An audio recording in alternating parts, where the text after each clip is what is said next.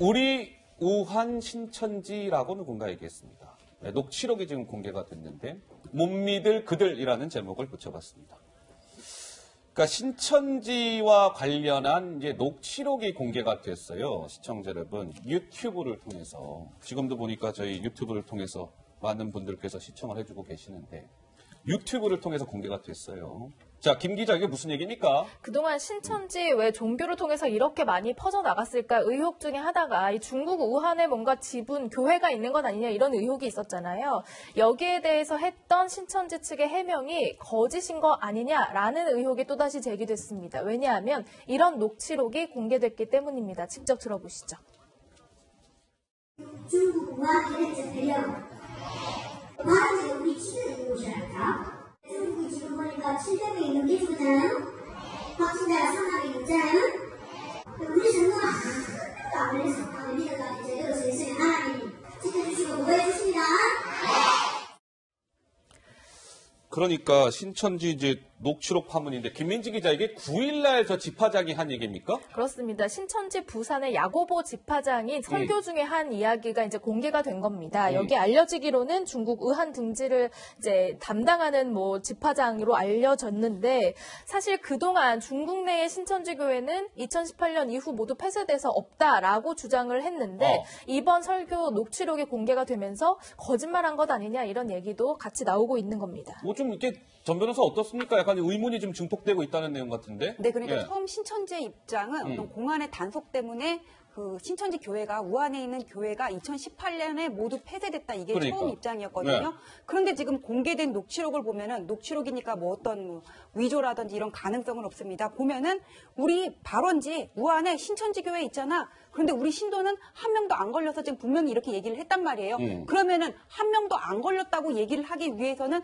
온라인으로만 전도를 해서는 안 되겠죠. 거기에 어떤 물리적인 교회가 있었다는 얘기잖아요. 예. 그래서 지금 이번에 확진자 중에서 상당수가 신천지 교인들하고 관련이 맞아요. 있는데 음. 이분들이 처음에 어디서 걸렸는지 거기에 대해서는 아직까지 어떤 역학조사 결과 감염 경로가 나오지가 않았는데 음. 저분들이 춘제가 24일부터 일주일이었는데 시작되고 나서 우리나라에 들어와서 2월 초에 음. 신천지 집회에 신천지 모임에 참석했다 이런 보도가 나오고 있어가지고는 예, 예. 누구였고 교인이 언제 어떻게 음. 들어왔고 예배에 참석한 사람은 누군지까지를 알아내야 되는데 음. 지금 정부에서 21만 명 신천지 교인 명단을 확보를 했다고 하는데 예. 또 그거에 어디까지가 진실인지 담보할 수가 없어서 음. 아직까지도 해결해야 될 난제는 많습니다. 전 변호사가 말씀 잘 주셨는데 이제 이거 명단을 다 제공을 했다는 거예요. 신천지 측에서 우리 신천지 신도들이 몇, 몇 명이라고요? 전 변호사 수 21만 명 정도 됩니까? 예, 예. 그 명단을 정부 쪽에 줬다는 거예요. 근데 김 기자 신천지가 정부나 뭐 경기도 등에 이 건넨 명단이 음? 축소된 거 아니냐? 이런 의혹도 있다는데 무슨 얘기입니까? 네, 신천지 측이 경기도 측에 전달한 그 명단과 경기도가 이제 강제 아니, 진입으로 뭐예요? 입수한 명단은 차이가 크다 이런 겁니다. 신천지 측에서 정부에 통보한 예배 참석자가 1290명이다 이렇게 보고를 했는데 음. 경기도가 지난 25일에 아시다시피 신천지 과천본부를 강제 진입해서 이제 명단을 확보했잖아요. 그랬죠. 경기도가 파악한 예배 참석자가 9,330명이라는 겁니다. 그러니까? 정말 차이가 많이 나서 이게 축소 돼서 의혹이 축소 의혹이 점점 불거지고 있는 가운데 이재명 지사가 뭐라고 얘기했는지 한번 들어보시죠. 과천 교회에 관련된 2월 16일 집회가 어, 있었고 어, 거기에 약 만 명에 가까운 사람들이 참여를 했는데 그 중에 현재 두 명이 또 확진이 돼서 예배 참여자 어, 만 명에 대한 전수조사가 필요한 상태였습니다. 3만여 명의 명단을 이제 확보하셨다는 건데 이 사람들에 대해서 앞으로 어떤 조치가 이루어집니까? 전수조사를 해야죠. 어, 그러니까 어, 현재 상태, 집회나 어, 행적 그 중에서 의심스러운 사람에 대한 검사 또 필요하면 격리 뭐 이런 것들을 해나가죠. 자, 그런데 이게 신천지 쪽에서, 아, 잠깐만요, 잠깐만요. 속보가 방금 들어왔네요. 제가 이거 신천지 얘기하다가, 뭐 속보를 먼저 지- 전해드리는 게 우선이겠죠? 자, 오늘은 근데 속보가 조금 늦게 들어왔어요. 보통 한 5시 7분 정도쯤에, 이제 5시에 발표가 돼서 저희가 보통은 한 5시 7분경에 속보를 전해드렸는데, 어, 질본에서 조금 늦게 발표를 했답니다. 자, 지금 막 들어왔습니다. 코로나19 확진자 하루 만에 505명, 505명이 증가를 했습니다. 그래서 지금 국내 확진자 숫자가 1,766명이 됐어요. 제가 오늘 방송 스타트하면서 1,599명이다 이렇게 말씀을 드렸죠. 아, 1,595명, 1,595명이다라고 말씀을 드렸는데 불과 한 1시간 정도 만에 더 이제 확진자가 는 겁니다. 1,766명이 됐다고 하네요. 그래픽이 마침 수정이 돼서 막 저희 구조정실에 도착을 했습니다. 바로 이겁니다. 어제 1261명이었죠? 어제 이제 1261명인데 하루 만에 505명이 는 거예요. 당연히 이제 하루 증가폭에서는 최대입니다. 이제 505명이 늘어서 1766명. 아직 사망자 숫자는 그대로인 것 같아요. 13명. 저- 저 다행히 더 늘지는 않았는데. 어떻습니까? 오 교수님, 이거 어느 정도, 이거, 뭐 이 추세는 우리가 지금 어느 정도 이제 좀 받아들여야 될까요? 어떻습니까? 네, 예상했던 바죠. 지금 이제 이미 유증상자가 이미 많이 있었고 음. 그 유증상자들의 검사 결과가 지금 나오고 있는 거다 이렇게 볼수 있는 거니까 음. 예. 이게 뭐 505명이 증가했다고 그래서 야 엄청나게 또 많이 사람들한테 퍼졌나 보다 이렇게 생각할 것은 아직 아니고 음. 지금 상태는 이미 유증상자로 확정돼 있던 사람들이 음. 확인이 되는 상황이니까 너무 겁먹을 필요는 없을 것 같습니다. 다만 이게 다만. 계속해서 이런 식으로 늘어난다면 그건 유증상자가 계속 늘어나서 우리가 또 검사를 할 사람이 쌓이고 쌓이고 쌓이고 한다는 뜻이기 때문에 음. 이게 이제 유증상자의 확진이 어느 정도 끝나고 나면 가라앉아줘야 되거든요. 그래서 이 숫자가 언제쯤 이 가라앉을 것인지 이게 이제 앞으로 우리가 잘 지켜봐야 될 그 점이라고 생각을 합니다. 예, 예. 알겠습니다. 아까 이 신천지 측에서 정부나 경기도 등에 건넨 그 명단에 그 명단이 축소된 거 아니냐 그 얘기하다가 이제 속보로 좀 넘어왔는데 다시 그럼 그 얘기로 돌아갈게요. 근데 이제 숫자가 또 하나 축소 의혹이 일고 있는 게 있습니다. 바로 이겁니다. 그러면 오케이 알았어요. 그 신천지 그 본부가 과천에 있답니다. 신천지 과천 본부 그러면 신도들 가운데 지금 일종의 좀 문제가 되고 있는 신천지 대구 교회에 참석한 과천 본부의 신도 수가 몇 명입니까? 이랬더니 신천지 쪽에서는 경기도에 대구 예배 참석자 20명입니다. 이렇게 경기도에 통보를 한 거예요. 근데 경기도가 파악을 해 보니까 아닌데 35명인데 그러니까 이게 15명의 이제 갭이 있는 거예요. 그러니까 저 15명 가운데 누군가가 또 지금 확진이 되어 있다면 그 누군가는 지금 막 거리를 활보하고 다니고 있을 것이고 그럼 확진자는 더 그만큼 늘 수 있는 거 아니겠습니까? 그래서 이 신천지 명단 축소 의혹이 단순히 명단의 숫자 뭐 한두 명이 틀린 것이 아니라 이게 자칫 잘못하면 확진자를 기하급수적으로 늘릴 수 있는 부분이기 때문에 신천지 명단 이 축소 의혹이 지금 계속되고 있는 겁니다. 이런 가운데. 김 기자, 뭐 이런 이유 때문일까요? 지금 신천지 교회의 총회장 이만희 회장이 오늘 고발을 당했다고요? 그렇습니다. 신천지 피해자 연대라는 피해자 모임이 있는데요. 여기에서 오늘 대검찰청에 이만희 총회장을 고발하는 기자회견을 열었습니다. 내용은 코로나19 사태와 관련해서 정부에 거짓 자료를 제출하는 등 뭔가 역학조사를 방해했다라는 혐의로 이제 검찰에 고발을 한 건데요. 그래서 이제 신천지 본부에 대해서 압수수색도 해야 된다 이렇게 주장하기도 했습니다. 오늘 고발 기자 회견 모습 한번 보고 오시죠. 모두 이만희를 구속하고 수사하라! 신도들의 금품을 갈취하고 가출과 이혼을 조장하는 신천지 교주 이만희를 구속하고 수사하라!